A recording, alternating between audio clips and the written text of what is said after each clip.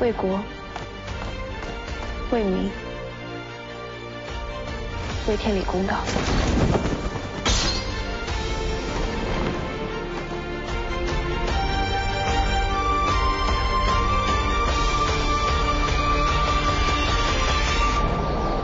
我说天这么冷，你衣服又在我这儿，要不你来了。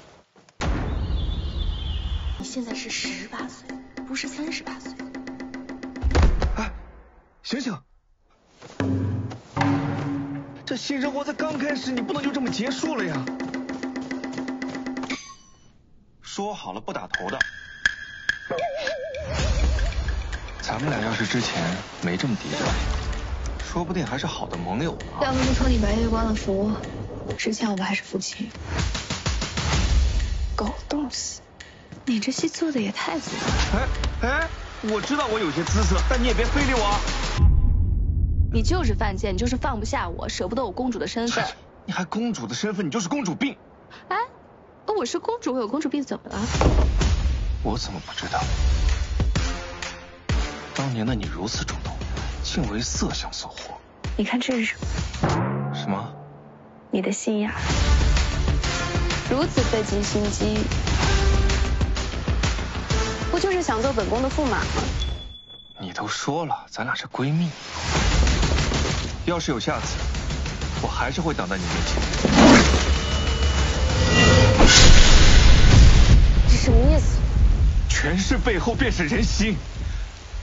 你若是读不懂人心，你想要的一切终落成空。我不过是父皇平衡世家的一颗棋子，我的路我自己走。我要为自己而活。血洗争夺之后，这局棋才能平衡。他们不仅仅是几个朝臣，几条人命，他们是边境的高墙，是大夏的脊梁。血战到底，荣耀而归。我作为你的盟友，早就生死与共。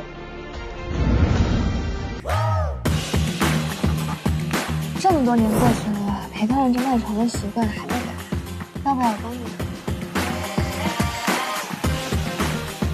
臣愿献人间喜乐，以报君。嗯嗯。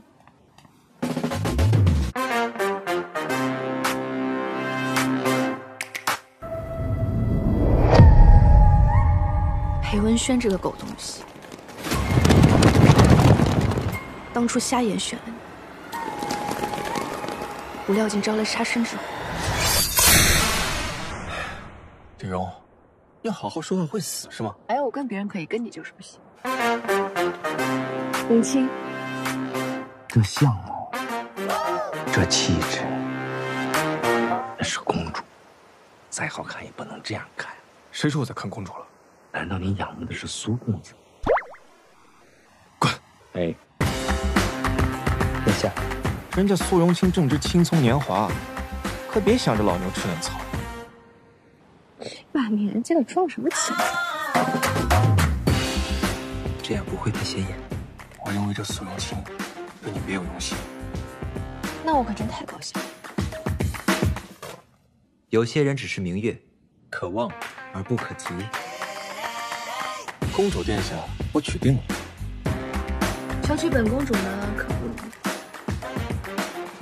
凶险？这件事可不凶险，是你这个人又凶又险。哎哎哎，我开玩笑的。如果朕要你做朕的一把刀，去杀了杨泉，作为迎娶平月的聘礼，你敢还是不敢？既然他们想要选择裴文轩，那我们就让这世上再无裴文轩。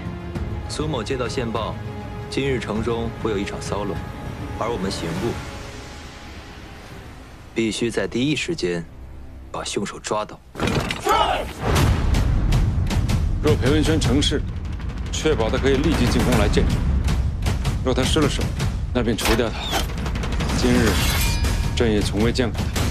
这是我替你向太子讨的，还顺手送了你几个人。祝你好运。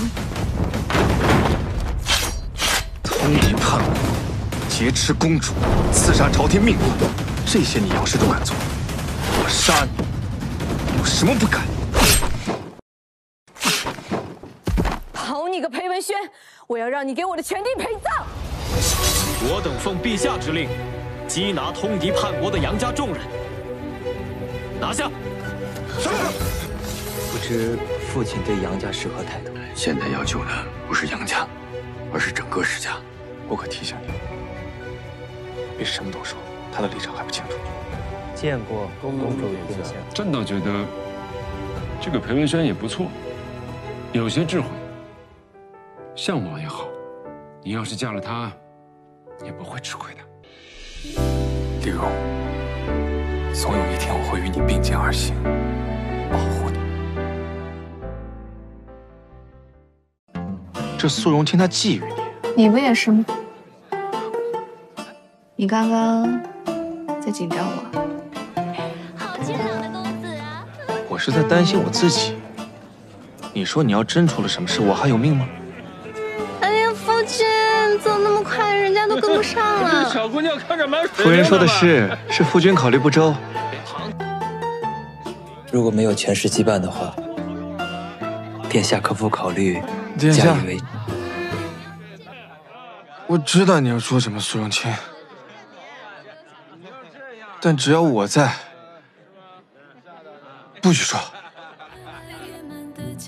有些人只是明月，可望而不可及。苏大人，往后还是少提殿下吧，不然我都搞不清楚苏大人的明月到底是谁了。我就是想知道，你为何定要娶阳泉人头呢？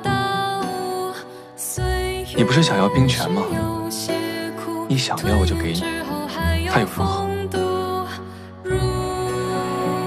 我可记得清清楚楚，当年可是你说的，这波斯舞女的衣服穿在我身上，别有一番风情。我说过这话？你说过，成婚那年，七夕，烟花，你比烟花更美。以前的我应该很讨厌吧？我不是也一样吗？